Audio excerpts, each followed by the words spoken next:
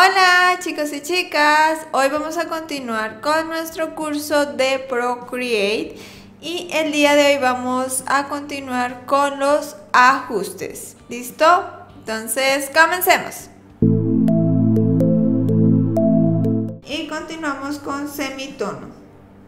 Y este ajuste lo que hace es que crea un efecto de impresión de estilo retro y tiene tres formas diferentes de ajuste. Todo color crea un tono medio de color que mantiene el color de la obra original en el fondo. Tenemos serigrafía, crea un tono medio de color que muestra el blanco a través del fondo del tono medio. Y por último, periódico, crea un tono medio en escala de grises. Y estos son todos los efectos que tenemos. Vamos a cancelar. Y continuamos con aberración cromática, capa. Y este lo que hace es que cambia el plano rojo y azul de la imagen RGB para imitar el efecto de aberración cromática de las lentes de la cámara. Vamos a aumentar. Y este viene con dos modos diferentes. El de perspectiva que permite establecer un punto focal a partir del cual se produce la aberración cromática tenemos el desplazamiento y este no utiliza punto focal. En perspectiva tenemos el modo de transición que controla la cantidad de desenfoque aplicada a la aberración cromática que se irradia desde el punto focal. Y el de desvanecer que controla la distancia radial desde el punto focal antes de que se aplique a cualquier efecto y tenemos este que es el punto focal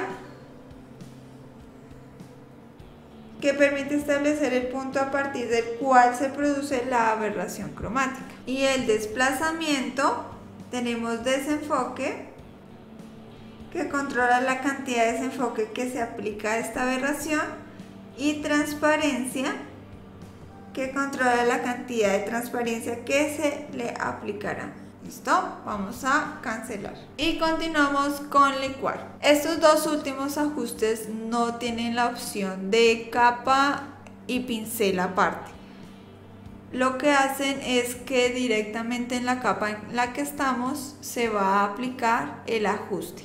Entonces cuando seleccione licuar no van a aparecer las dos opciones. Seleccionamos licuar y este ajuste lo que hace es que deforma los píxeles de una capa de cinco formas diferentes. Funciona como un pincel, permite pintar los efectos en el lienzo con nuestro pincel o con nuestro dedo. Comenzamos con el modo de empujar, que lo que hace es que mueve los píxeles en la dirección del trazo que pongamos.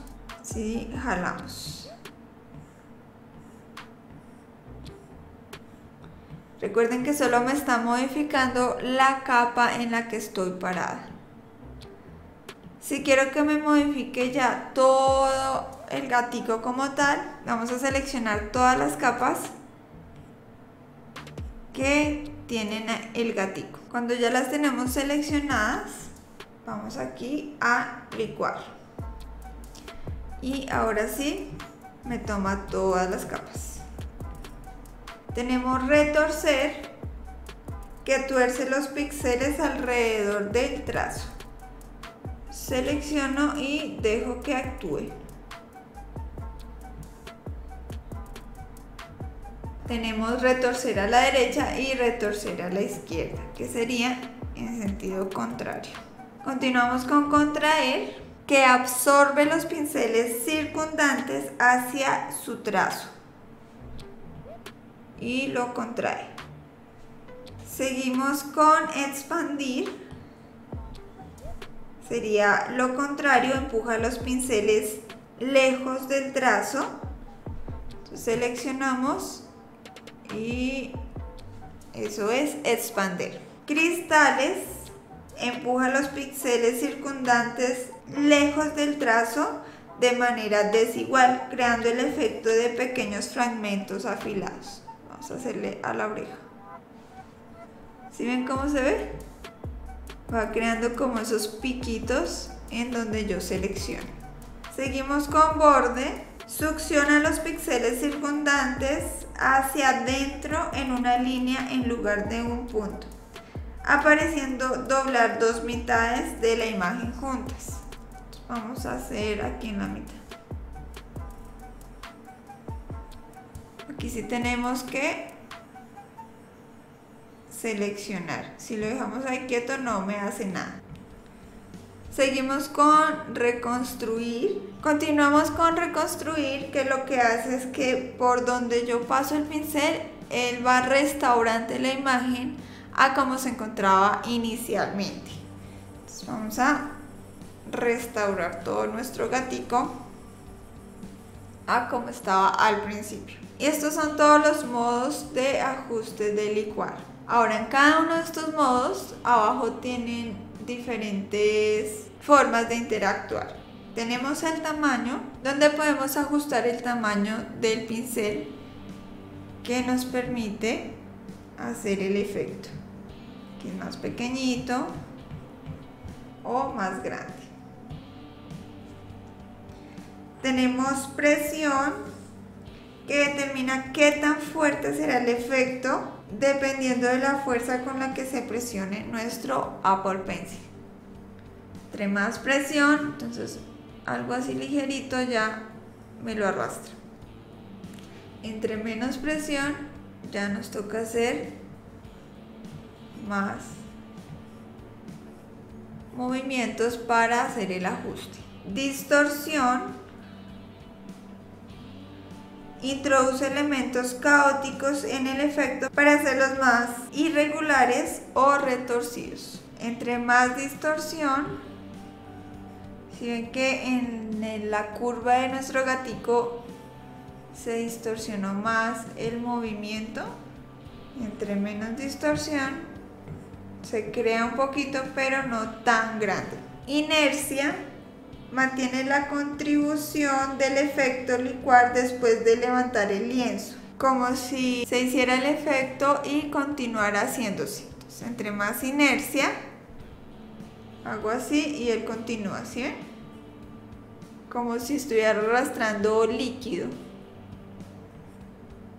Y entre menos inercia, ya, se ven que ya no es tanto como ahorita. Y por último tenemos ajustar, que revela el control de deslizante de cantidad. Y este lo que hace es que podemos poner qué cantidad de todo lo que modificamos queremos que se le aplique y tenemos la opción de restablecer que simplemente me deja la imagen como se encontraba al principio y vamos a ir nuevamente aquí a los ajustes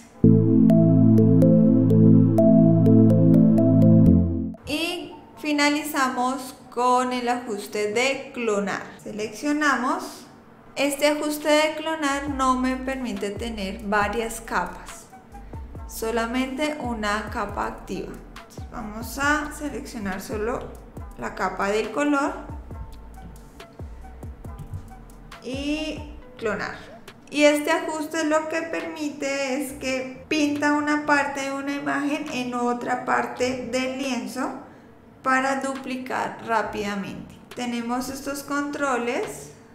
Entonces, este disco es para elegir la fuente queremos replicar este ojo y con nuestro pincel vamos a poner este pincel vamos a pintar donde queremos ese ojo vamos a aumentar el tamaño del pincel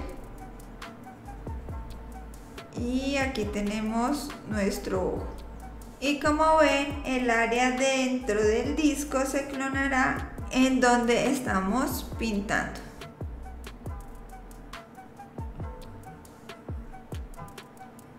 Podemos mover el disco para clonar otra parte. Si queremos que el disco no se mueva, vamos a mantener presionado y ya no se debería mover. y para desbloquear igualmente mantenemos presionado y en la parte de arriba nos aparece la notificación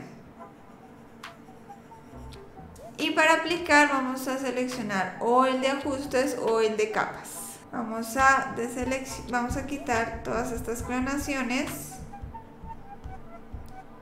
Listo chicos, eso es todo por el día de hoy. Espero que hayan aprendido un poco más sobre la herramienta Procreate.